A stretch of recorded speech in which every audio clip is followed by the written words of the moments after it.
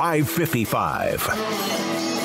Top five landing spots for Grayson McCall. We didn't get really get a chance to get into this because of uh, Mike Leach and Chris Beard uh, over the last couple of days. But Grayson McCall from Coastal Carolina, a guy who's won a lot of games, is is going into the transfer portal, and that is very interesting. He, I don't know if he would be my number one quarterback in the transfer portal.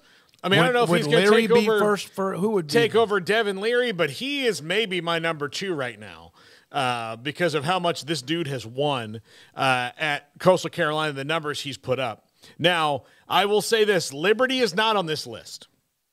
And I know that Jamey Chadwell is going there, which would make sense if that happens. You know, color me not shocked. But I think that he's doing this to raise the level of competition, and Liberty doesn't necessarily do that for him. So, number five, NC State, they're losing Devin Leary. They have a guy that they like, but he is right, uh, you know, he can wait a little bit or whatever. He's from North Carolina this kind of fits him. That's a good team that can win the conference. They're going to be playing against better competition than he's playing against at Coastal. I think it's a fit in Dave Doeren's system. Uh, and you know, like I said, if Darren Leary's Devin Leary's number one, he's number two. So that really softens the blow of Devin Leary leaving if you're NC State. Yeah, it seems like uh, those two are he and Leary uh, 1A, 1B. Now, the guy you're talking about, whatever, that's MJ Morris, and he's just a freshman, and uh, he was looked pretty good in his limited time, and I don't know that NC State's going to go up Yeah. in that. So um, I think it's the MJ Morris show now, and maybe I'm wrong on that. Maybe they would like to give him some more time, but that's certainly the vibes you got when Devin Leary was not in action, was this is going to be the MJ Morris show, and then he enters the transfer portal, and it's like, okay, it's really going to be the MJ Morris show. Uh, but yeah, I mean, they've, they've got a – uh, a sudden hole to plug unless Morris is that plug. And uh, if they feel that way, then certainly. I mean, McCall, like you said, uh, he's 1A or 1B depending on how you look at it. So it would only make sense if you lost the 1A guy to go grab the 1B guy or vice versa.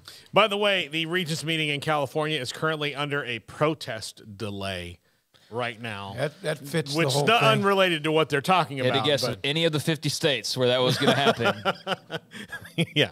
Uh, number four, Florida. Uh, they should be. They should be on every list of who needs a quarterback.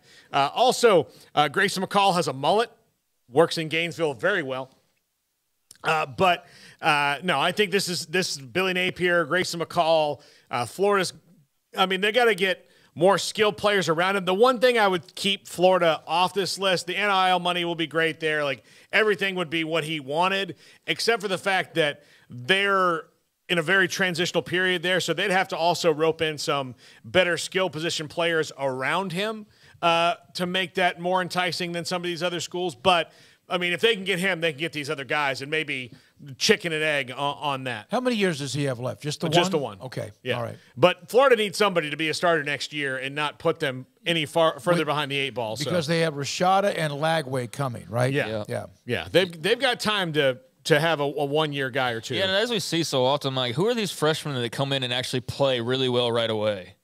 Not many. Not Yeah. many at all, right? Yeah. Like hardly any of them do. Like maybe like the premier super blue chip guys, but like even like you know Quinn Ewers was pretty good by the end of the year. Had like a solid debut season, but it wasn't like he was like NFL ready and and all of that. So yeah, like Rashad and those they can wait a little bit. I mean, I understand that you can't wait too long in today's uh, day and age of you know quarterback depth and, and the transfer portal but yeah they can wait a year and you could have a little stopgap and and i think florida would be a great landing spot that would be a huge get for billy napier i've seen them mentioned quite a bit as a school that would make sense for him because of that very reason is they've got quarterbacks they just are on the way or they're young right now so yeah i could definitely see him in Yeah. gainesville Number three, Oregon. Uh, going to have to replace Bo Nix. I think uh, skill sets uh, pretty similar.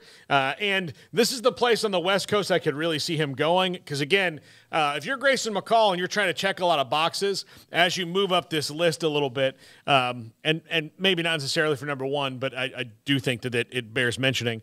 Um, but you want teams that can compete and win uh, a little bit more, and maybe maybe get some hardware uh, on the way out the door. And Oregon can certainly do that in the Pac-12 uh, in the coming years under under Dan Lanning and So I, I would think that this this one fits him as well. And Oregon also, you know, DJU is going to be in the mix for Oregon. He he was committed there before, but if I'm picking between DJU and Grayson McCall, I'm taking Grayson McCall. Who are you picking out of Bo Nix and Grayson McCall?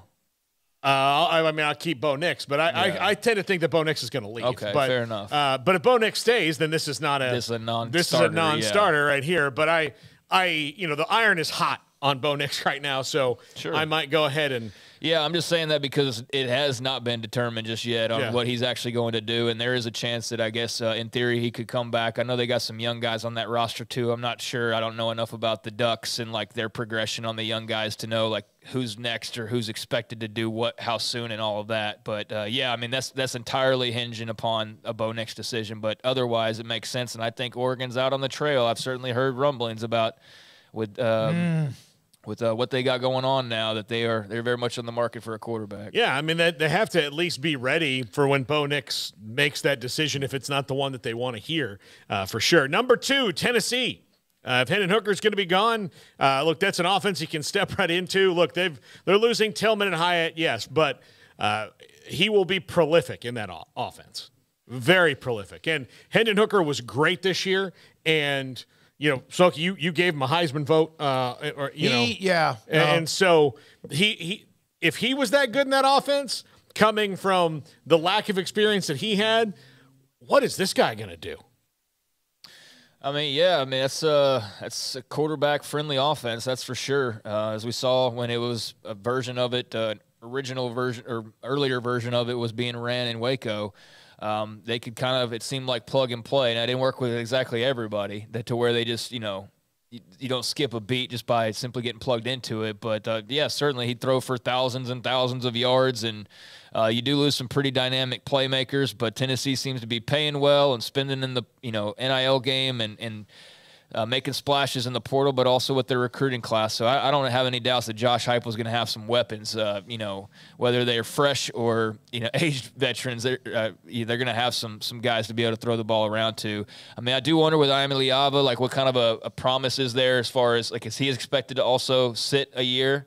Um, I don't know again uh, enough to to be able to say for sure, but yeah, if you just want a guy to come in and throw for a billion yards, then Grayson McCall could certainly do that under Josh Heupel. Yeah. And number one, Auburn.